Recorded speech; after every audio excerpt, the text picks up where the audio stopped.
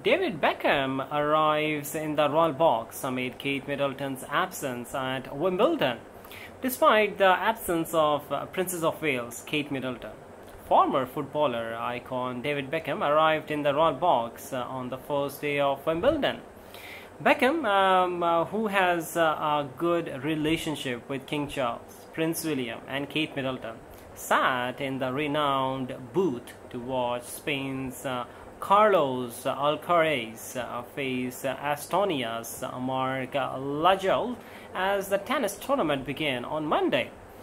Uh, Beckham was accompanied by his mother Sandra and numerous celebrity guests including uh, Jamie Cullen, uh, Alexander Armstrong and uh, Katherine Jenkins.